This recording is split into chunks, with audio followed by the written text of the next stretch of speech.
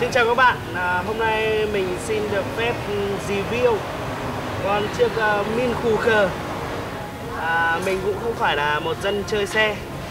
Mình cũng mới mua chiếc Min này được một tuần. À, Hôm nay mình sẽ đánh giá sơ qua về chiếc Min này.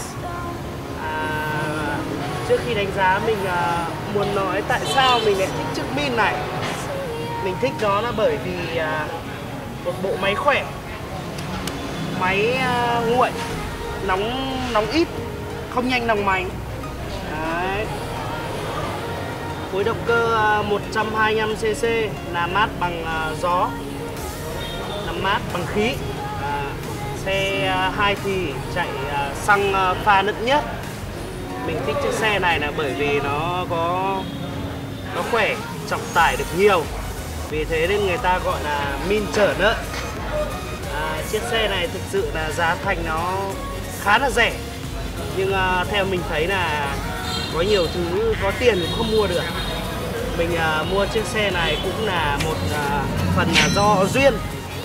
À, một hôm mình có đi à, chơi và thấy à, một à, người bạn cũng đi chiếc xe này nên mình đã thấy thích và mình đã hỏi mua.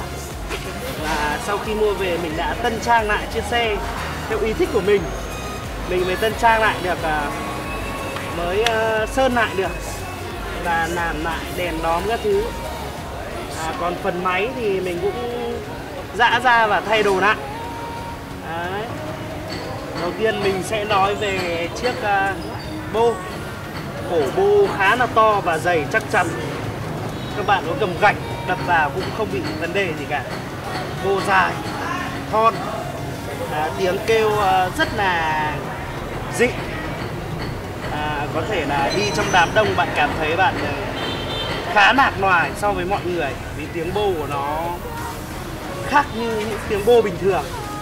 Đấy, đến phần thụt hai chiếc thụt sau. Ờ, trọng tải của chiếc thụt này có thể à, lên đến 7 đến 8 tạ. Ờ, phần thụt trước khá là cao.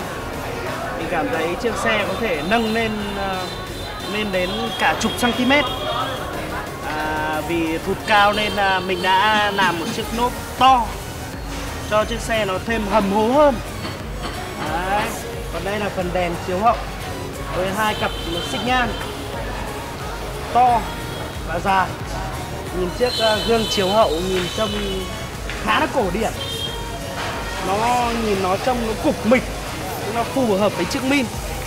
Đấy, tại vì liên xô mà liên xô làm cái gì nó nghe có vẻ cục mịch chắc chắn. Đấy. À, còn đây là đến phần bình xăng. À, chiếc bình xăng khá là to có dung tích lên, lên tới 10 lít à, chiếc bình xăng này à, nó to. Mình ngồi à, mình có thể ôm vào bình xăng cảm giác rất thoải mái. Đấy. À, đến phần à, phần à, vào vào số và cần để chân. Vâng chiếc xe khá dị cần đạp thì ở bên nằm ở bên à, tay trái.